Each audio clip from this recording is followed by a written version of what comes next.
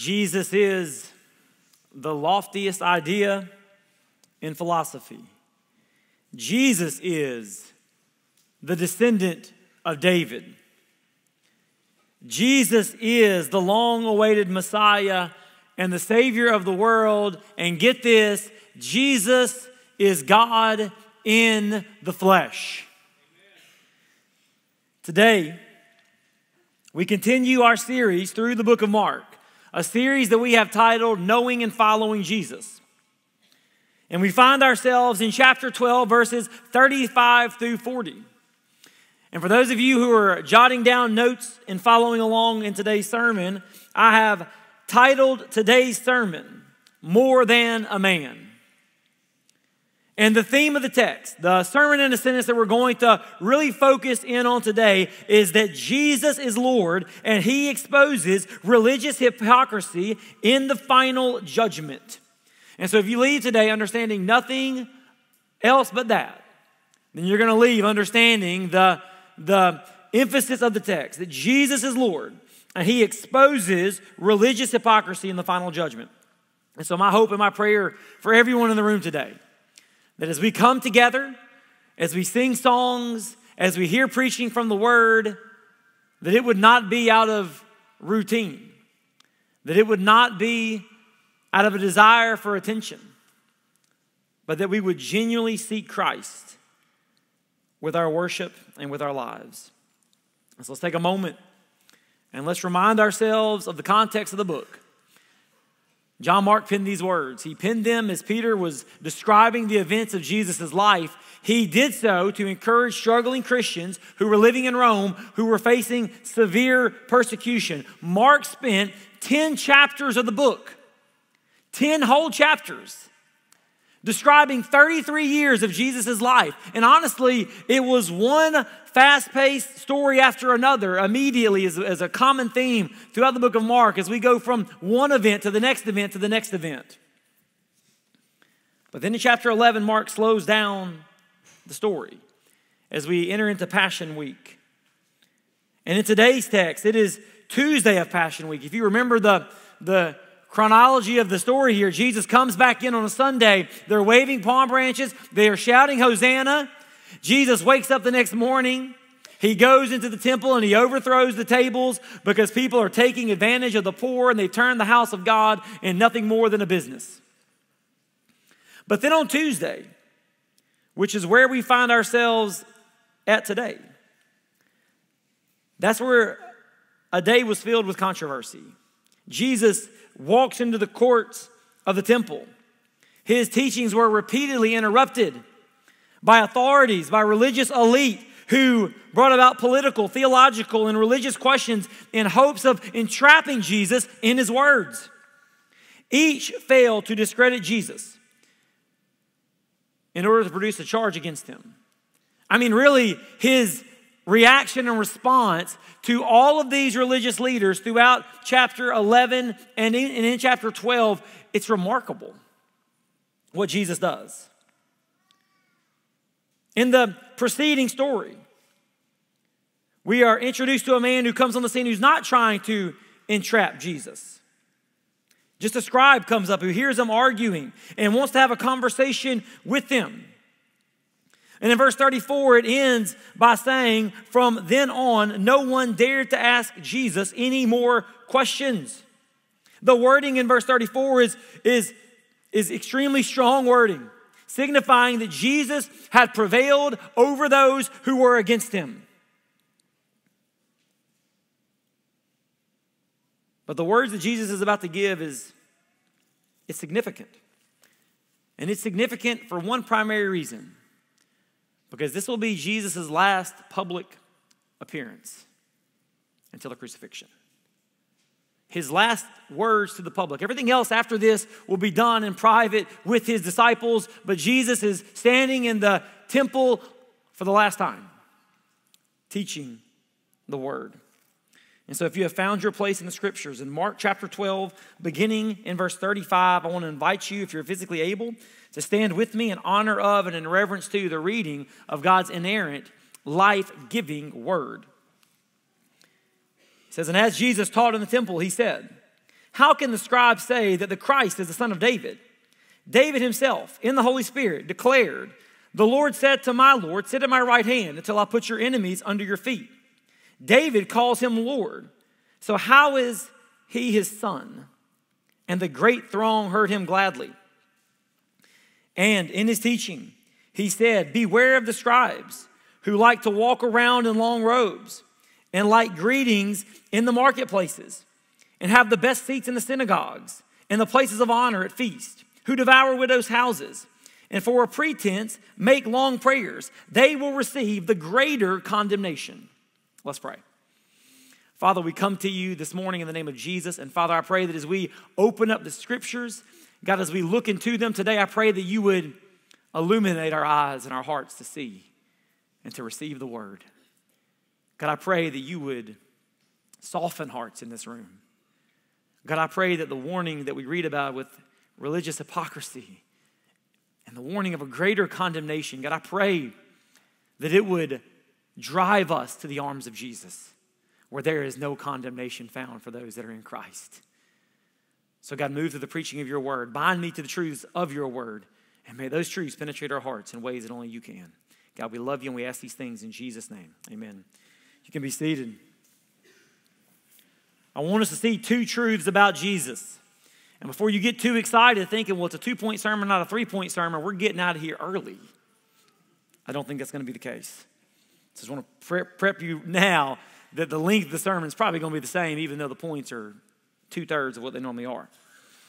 But the first truth I want you to note about Jesus number one is Jesus is both the Son of David and Lord.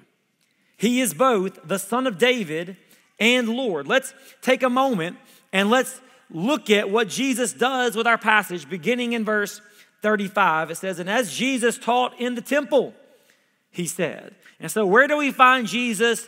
Out of the gate, we find Jesus taught in the temple. He is teaching the word.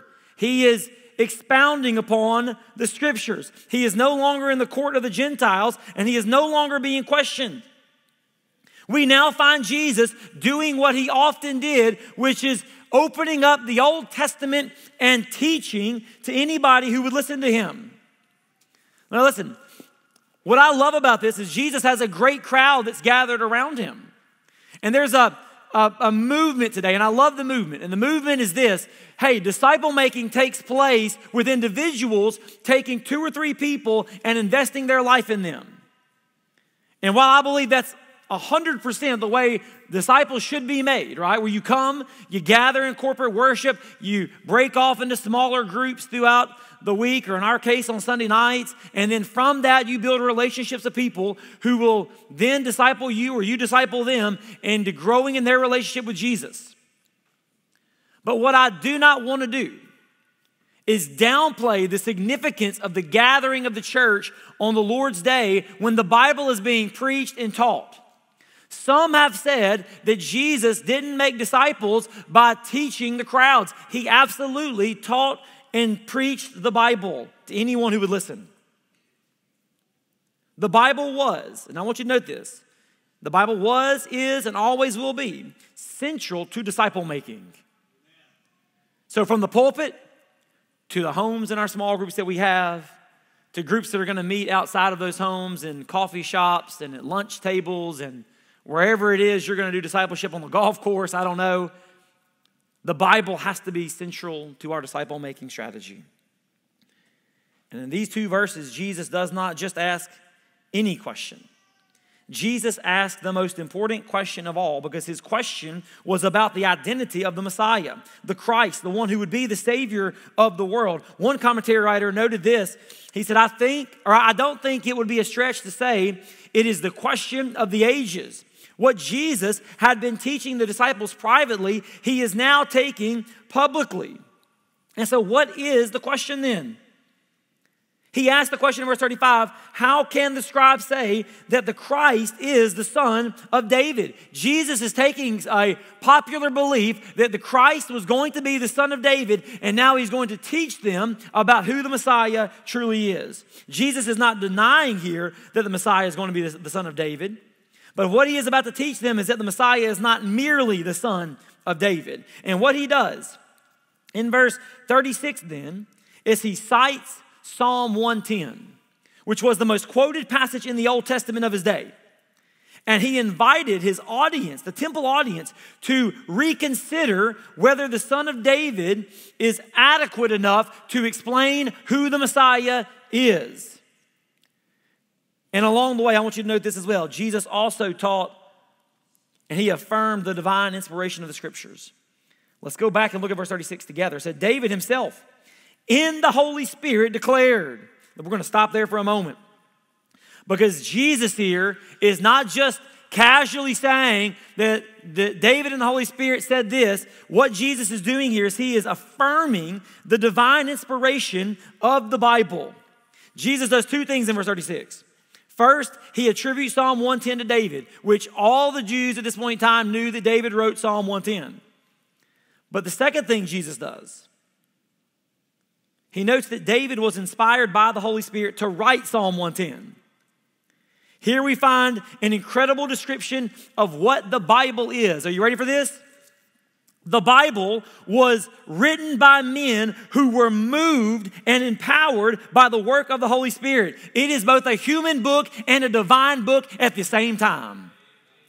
You to know why you can read the Bible today that was written thousands of years ago and you think to yourself, well, it's almost as if it's as relevant as this morning's paper. You know why? Because it's a divine book and it's living and it's breathing. That's the reason why. And Jesus, by the way, is affirming this. Any liberal scholar is like, well, listen, the, the Bible is not divinely inspired. Jesus didn't teach that. They didn't read it. They didn't read it. And any modern preacher that says, well, the Old Testament is really irrelevant, we need to focus on the love of Jesus in the New Testament, they didn't read the words of Jesus either. Because the Old Testament is rich with theology, and the Old Testament preaches Jesus. 2 Timothy chapter 3, verses 14 through 17. Paul writes to young Timothy, But as for you, continue in what you have learned and have firmly believed, knowing from whom you learned it, and how from childhood, I love this, how from childhood you have been acquainted with the sacred writings, which are able to make you wise for salvation through faith in Christ Jesus. What are we doing in Kids Point right now? What's going on in nursery right now? What takes place on Wednesday nights when youth gather and we're doing Bible drills on Wednesday nights? What are we doing? We're acquainting children with the teachings of the Bible in hopes that they will see that through Christ and through faith in Christ comes salvation. And Paul goes on. He doesn't stop there. He says, All scripture is breathed out by God it's God breathed and it's profitable for teaching, for reproof, for correction, and for training in righteousness, that the man of God may be complete, equipped for every good work. If you want to be equipped to serve Jesus, immerse yourself in the scriptures. Be a person who lives in the book. You see, the Bible is not just a human book, but a book that is divinely inspired by the God of the universe. Saints, listen to me. Divine revelation is at our fingertips. And we must be committed to hearing from God through the scriptures. Because with this one line, Jesus affirms the inspiration of the Old Testament. And Jesus highlights the divine inspiration of the scriptures to demonstrate to his hearers, listen to me, that the Messiah would always be more than the son of David. The Jews at the time believed that the Messiah was going to be the son of David, and Jesus is about to expand that in just a moment. And so Jesus is letting his listeners know that the point he is about to make bears the weight, listen to me, of divine revelation. The point he's about to make, he's not just making something up random. Jesus is taking the Bible, what they believe, and he is showing them that the Messiah was going to be more than a mere man. You see, God had promised to send the Messiah to redeem and restore his people. 2 Samuel chapter 7, verses 11 through 16 is where the Lord promised David that one would sit on his throne forever. How can a mere man sit on the throne forever? The answer is he can't. And so, what God's people needed was more than a mere man, they needed the God man. In verse 35, Jesus questioned what the scribes taught about the Christ in light of the scriptures. The religious leaders here quoted the word all the time, and Jesus is strategic with his question. And I want you to note this Jesus confirms then the humanity of the Messiah. He confirms it. he confirms the humanity of the Messiah. How can the scribe say that the Christ is the son of David? David himself, in the Holy Spirit, declared, The Lord said to my Lord, Sit at my right hand until I put your enemies under your feet. David himself calls him Lord. So, how is he his son? And so, just imagine for a moment all of Israel's gathered. They are looking and longing for the Messiah. They're longing for the one who would come through David's line, who would be a man. And Jesus here affirms that the Messiah will be a human descendant of David. Everybody agreed with that. In Mark chapter 10, even blind Bartimaeus, if you remember that story, which was months ago at this point in time when I preached it, but in Mark chapter 10, blind Bartimaeus cried out, Jesus, son of David. That's a messianic title. Have mercy on me, because he knew that Jesus was the long awaited Messiah. Even in the triumphal entry, blessed is the coming kingdom of our father David. Hosanna in the highest. And so there's messianic language attached to Jesus. And I want you to note this the primary issue the religious leaders had with Jesus wasn't his miracles, it really wasn't even the jealousy because of the crowds. Saints, listen to me. They killed Jesus because he claimed to be God. He claimed to be the Messiah. Judaism correctly believed that the Messiah was David's son. He would come through the lineage of David. But I want you to know that Jesus expands on the nature of the Messiah. Jesus is not denying that the Messiah would come from the line of David. He is noting, however, that the Messiah is both David's son and David's Lord at the same time. And so if we go back and look at what it says as he's quoting from Psalm 110, David himself in the Holy Spirit declared, The Lord said to my Lord, all right, so that word Lord there is used twice in one statement but it's actually two different words. All right? The first word, the Lord, is Yahweh, which is the self existing one, said to my Lord, Adonai, that's the sovereign one. And so the language here is pretty clear. It's, it's two different things. David uses two terms to describe two persons. Both were called Lord. The Jews read this as a messianic psalm.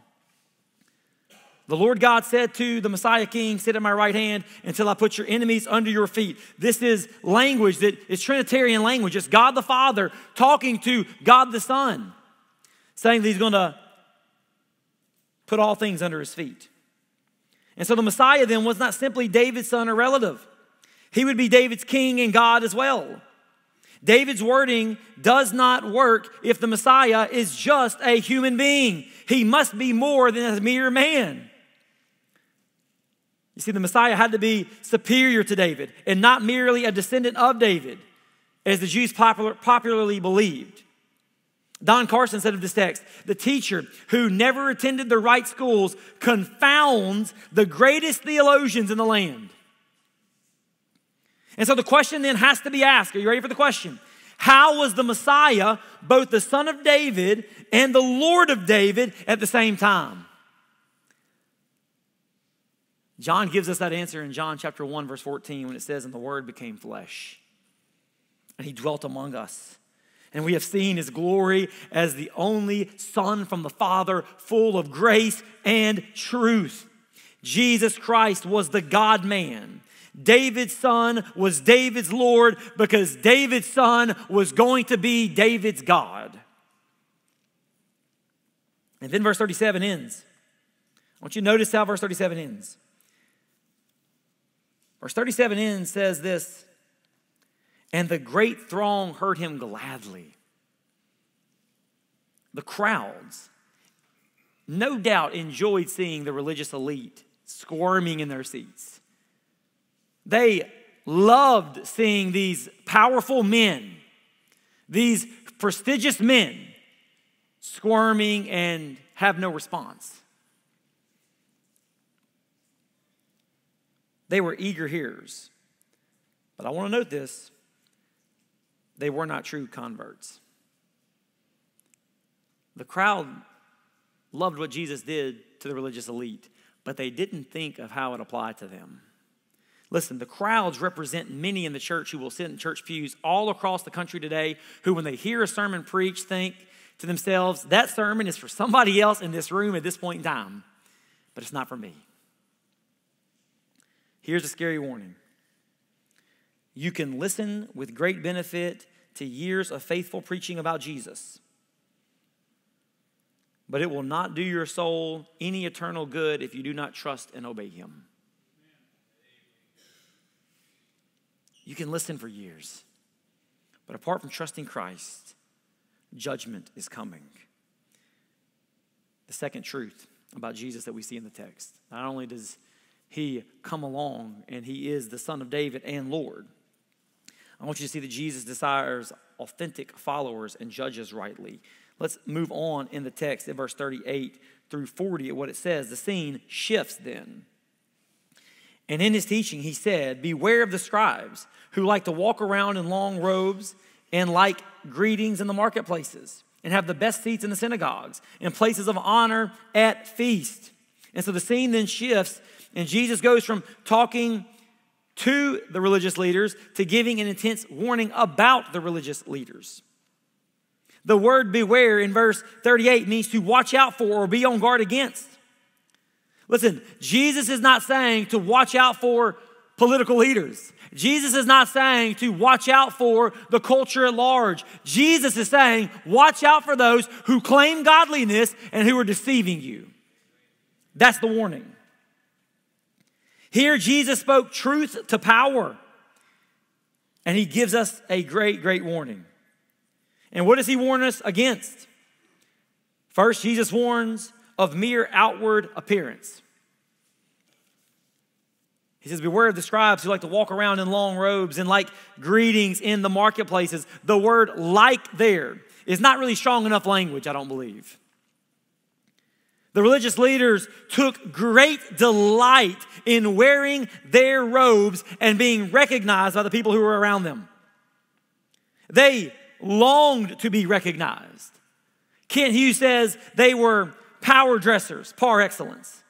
The scribes had these long flowing robes, full length shawls with, with tassels on the four corners, these enormous blankets draped over them. And it signified they were distinguished teachers and scholars, men of great wealth and great prominence. The scribes were more interested here in recognition than they were in recognizing the needs of others. They wanted people to see them rather than looking to how they could serve the people around them.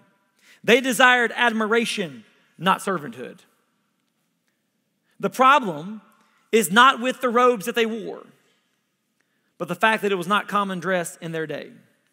Listen, I grew up in the church south. Ah, if you hear me being critical of the church south, I want you to know I can do that because I am one. Okay? I didn't come in from, from New York and now I'm being critical of all the culture. I, am I'm, I'm an insider telling you what's wrong with the church south at times. I heard statements my whole life growing up. You need to wear a suit and tie on Sundays. You've got to give God your best. You've got to give God your best. Anything less than that is sinful. Uh, listen, I, listen, I'm still kind of like this. Every once in a while, if my kids have got a ball game on a Sunday afternoon and somebody's swinging by to pick them up, and they'll come in and they'll have their hats on, and I'm like, oh, it just it makes me uneasy to just look over and see Keller wearing a hat in a sanctuary. It just does. I don't know why it does. It's not sinful. There's nothing sinful. If you're a dude and you wear a hat here next week, there's nothing sinful about that at all. But I look around because I was this is ingrained in me, right?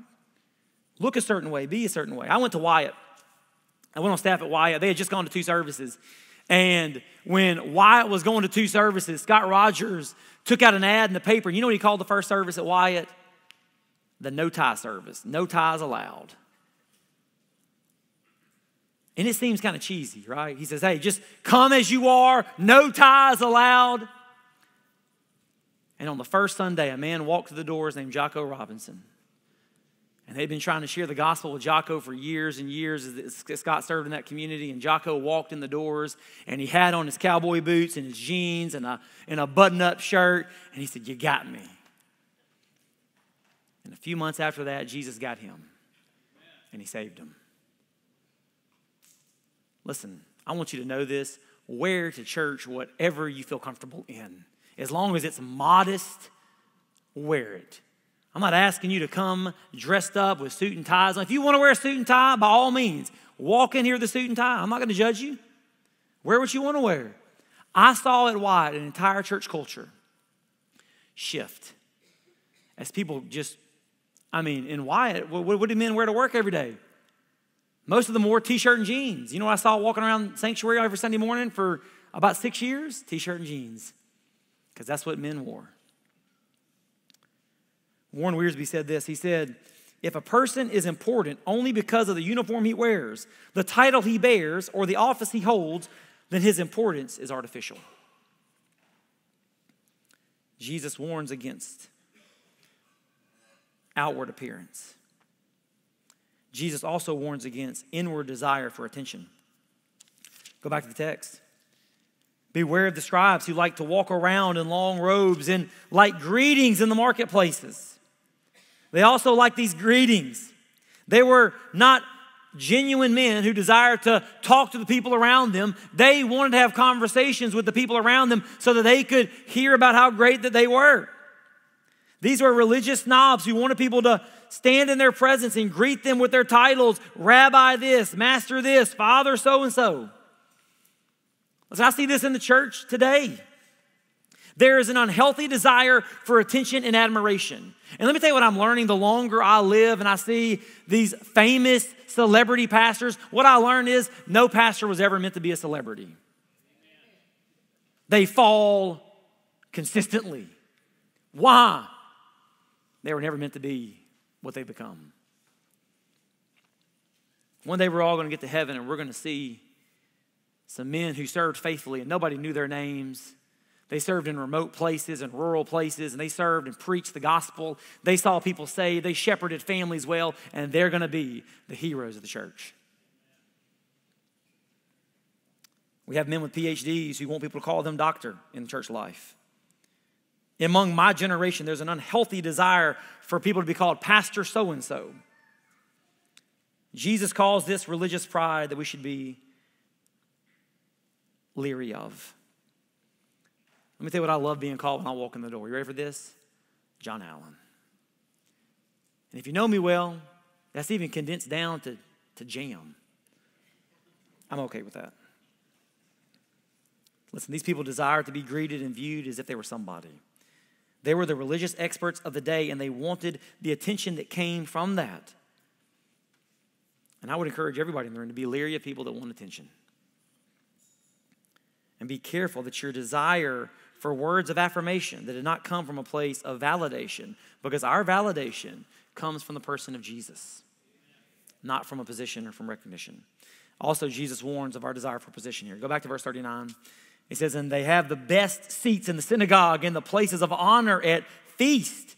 The best seats in the synagogue were reserved for people of rank because it gave them the best position to address the congregation. These religious leaders demanded that people pay attention to their rank and position of authority. No back rows for the religious elite in Jesus' day. Nope. They got a seat on the platform right there. Even special banquets. They insisted on being near the, near the head of the party, the host, because they wanted and desired position and prominence. The religious, the religious leaders spent their entire lives then exalting themselves rather than the God of the Bible. And Jesus is warning us to guard against that. Listen, there's nothing wrong with good seats. You're going to a sporting event, get the best seats you can get. But this is never about seats for these people, this is about position and power. And then Jesus warns against abuse of power. Let's look back in verse 30 at what else he lays at their feet, what other accusation he lays at them. He says, Who devour widows' houses and for a pretense make long prayers. They devour widows' houses. Understand something widows and orphans here were the most vulnerable people of Jesus' day. God blessed those who cared for them, He punished those who mistreated them. Most widows, which we'll read about next week, which, by the way, Jesus takes one of the poorest, most vulnerable people in all the Bible to teach us a lesson on generosity. We'll see that next week. I probably shouldn't have told you that. That means we're talking about giving next week. If numbers go down, I'll know why. But most widows were extremely poor. But some weren't. Jesus said the scribes devoured widows' houses. He didn't tell us how they devoured their houses, but the point that Jesus is making is that they did it. They seemed to be righteous men, and yet their ethics changed when money was involved. Listen, I've seen money change people over the years. I say that. I forget who said money doesn't change people, money just shows you who you really are. But I've seen money, even in ministry, become a dangerous thing. Again, celebrity pastors, conference preachers. What is, how much money does it take to bring in a guy to come and preach a conference for you? Listen, Brother Tom McLaughlin, years ago, my BSU director at Northwest, told me, he said, listen, don't ever set an amount that you have to get paid in order to go preach somewhere. I said, why? He said, because God's always going to take care of you. Listen, I have been to places and preached and not got paid a dollar to preach. I have been to places and preached, and what I gave them, I did not deserve the compensation they gave me in return. God always balances that out. I've never had to worry about that. But I've seen people prostitute the gospel for personal gain while their souls, or while souls of men and women are at stake. Listen, money doesn't change people, it just reveals more of who we are. I want you to notice the contradiction in their lives here. Because in one sentence, Jesus accuses them of devouring widows' houses. And in the very same sentence, he talks about their long prayers. Listen, their moral corruption was evident when they prayed these long prayers after taking advantage of the poor. We read this and think, well, how could they devour widows' houses and then go off in the temple and have these long, elaborate, eloquent prayers? Be careful. Let's be careful of how we look at them. Because there are times when we go to God in prayer, when we go into the Word, when we do things in spite of the fact that our lives are not reflecting what we're praying. Jason Meyer wrote this. He said, The length of their prayers does not demonstrate the depth of their devotion to God, but the lengths they will go in order to be noticed as religious. Listen, their public prayers were eloquent, and yet Jesus judged them as empty. Better a few mumbling words from a humble heart than a long, eloquent prayer from a proud heart. And then we notice that Jesus gives all these warnings, and then he gives those warnings because Jesus judges us based on our knowledge. Let's look at the end of the text one last time. What does he say about them? He says, They will receive the greater condemnation.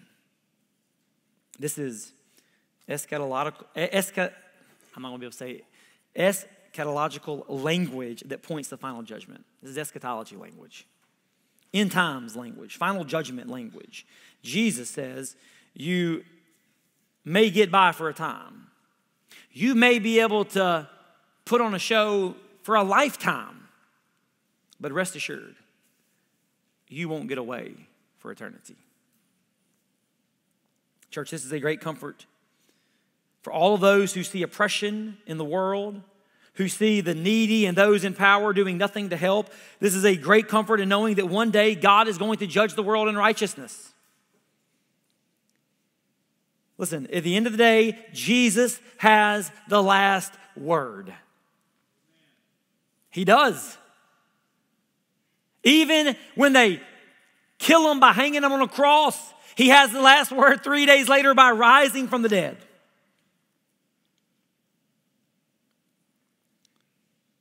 You see, the one who does not know or live the truth about Christ is condemned. But those who are made aware of what the scriptures teach and who fail to live out its truths will face greater condemnation. One of the mysteries of eternity is that heaven, or that in heaven, there will be no sense of loss, but some will receive a greater reward than others. And everyone in hell will be eternally punished. But Jesus himself says that some will have greater condemnation than others. This is a warning.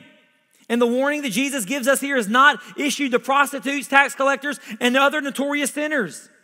It is a warning issued to the religious hypocrites who were coming to church and playing church.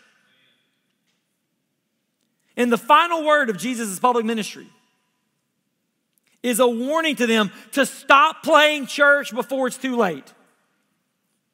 You know what you read about in the book of Acts? You read about thousands of Jews coming to faith in Christ. You read about hundreds of teachers and rabbis coming to faith in Christ. If you want the bad news today, here's the bad news. The bad news is that there is greater condemnation for those who do not trust Christ after hearing the gospel. But the good news today is that there is therefore now no condemnation to those who are in Christ. So if you're here this morning and you've never repented of sin and trusted in Jesus, the invitation is for you to come and to escape the condemnation that is awaiting you. Because there is no condemnation for those who are in Jesus. And so, in closing, I've got three points of application. Number one, I want to encourage you as believers to immerse yourself in the scriptures because they are divinely inspired. Let's remind ourselves that God wrote a book and He gave it to the church. Let's immerse ourselves in the scriptures. Let's read it consistently. Let's hear from God consistently. Number two, submit yourself to Jesus as Lord because He's God. I'm not telling you this morning to come and to find a life coach for yourself. No. I'm not telling you this morning to come and to go find a therapist, even though you and I both may need therapists. What I'm telling you this morning to do is to come to Jesus and to surrender to Him as Lord of your life because He's God. And number three, for those of us who attend church on the reg, guard against religious hypocrisy and let's genuinely follow Jesus. Let's be on guard against religious hypocrisy and let's genuinely follow Jesus. Church, Jesus has the last word. And the question for everyone in the room this morning is this What is he going to say of you at judgment time? Will it be, Well done, my good and faithful servant? Or will we hear the words that everybody dreads to hear Depart from me, for I never knew you? If you're an unbeliever, come to Jesus before it's too late. If you're a believer, let's treasure Christ and let's live for Christ. I'm going to pray. And I'm going to give you an opportunity to respond to the preaching of the word. Father, I love you and I thank you for the scriptures. God, I thank you that they are inerrant. I thank you that they are inspired. God, I thank you for how they work in our hearts. And I pray that you would use them at this time to mold and to shape the believers here in this room. God, I pray for the unbelievers. God, I pray that you would show them the realities of hell this morning. And I pray that they would see grace and mercy in Christ. And I pray that they would fall at his feet this morning. God, I pray that the gospel would go out with power and conviction. And God, that you would save those that are lost. God, move during this time. We love and ask these things in Jesus' name.